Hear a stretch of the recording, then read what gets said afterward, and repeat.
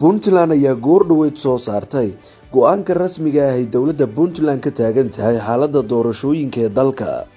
War-saxaafadeed ka soo baxay madaxtooyada puntland ayaa lagu yidhi dowladda puntland ee soomaaliyeed waxay u taagan tahay mabaadi'da dowladnimada puntland si waafaqsan dastuurka puntland iyo ka dowladda federaalka ah ee ay xubinta ka tahay.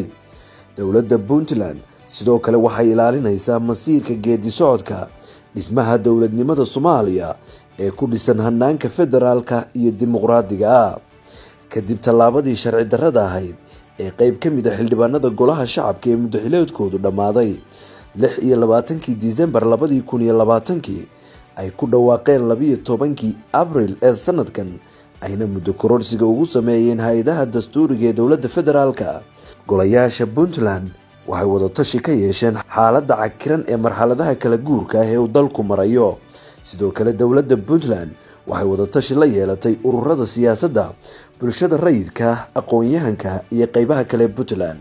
Kadib markii la tixgeliyey go'aankii golaha wakiilada dowladda puntland ee soo baxay toddobiyo tobankii abril ee labada kun iyo koob iyo labaatanka kadib markii la arkay xeerka tirsigiisu yahay toban ee soo baxay soddonkii julaay sanadii labadii kun ee ilaalinaya doorka puntland ee nidaamka dowlad dhiska soomaaliya.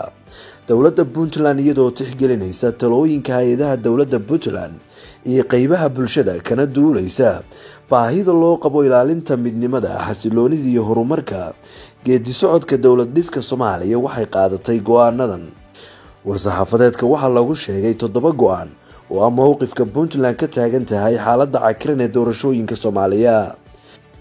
Waxaanay u dhignaayeen dowladda puntland ma aqoonsano tallaabadii sharci darrada ahayd ee golaha shacabka wakhtigiisii dhammaaday ku meelmariyey wixii ay ugu yeedheen xeerka jihaynta doorashada iyo muddo kororsiga hay'adaha federaalka dastuuriga ah ee dowladda federaalk soomaaliya.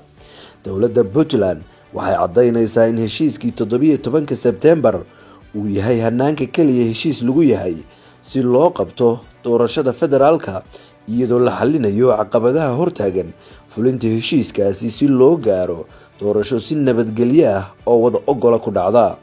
Dowladda puntland waxay ugu baaqaysaa saxiixayaasha heshiiska toddobiyo tobanka sebtembar saamilayda siyaasadda iyo wakiilada beesha caalamka ee daneeya horumarka siyaasadda ee soomaaliya in miiska wadahadalka lagu soo noqdo sida ugu dhaqsaha badan si loo soo afjaro xaaladda hubanti-la-aanta dowladeed loogana hortago khalkhal amni iyo burbur dowladnimo.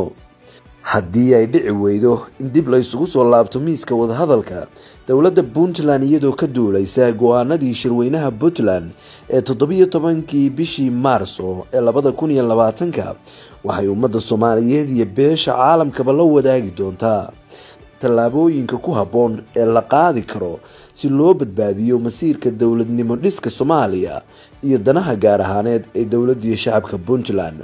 Dowladda puntland waxay dadka soomaaliyeed ugu yeedhaysaa in la ilaaliyo midnimada iyo wadajirka lana badbaadiyo mabaadi'da geedi socodka dowlad dhiska soomaaliya ee ku dhisan hanaanka federaalka iyo dimuqraadiga. Dowladda puntland waxay ugu baaqaysaa shacabka puntland inay ilaaliyaan midnimadooda dastuuriga amniga iyo xasiloonida puntland. Dowladda puntland waxay tillaabo sharciga waafaqsan ka qaadaysaa cid kastaoo isku dayda inay xasilooni darro ka abuurto gudaha puntland. Puntland waxay soo dhoweyneysaa cid kastaoo ka qayb qaadanaysa xaluhelidda xaaladda cakiran ee ka jirta soomaaliya. Ayaa lagu soo afmeeray warmurtiyeedka ka soo baxay madaxtooyada puntland